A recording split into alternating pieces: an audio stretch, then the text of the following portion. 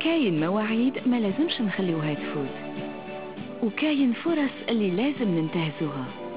أليانس للتأمينات تدخل بورصة الجزائر ليستفيد الجميع من ثمار نمو الشركة وتقوية أسس تطورها المستقبلي. استغلوا الفرصة وصيروا مساهمين في أليانس للتأمينات لننمو معا. عيش في أمان. أليانس هي الضمان اكتتبوا عند شبكة البنوك.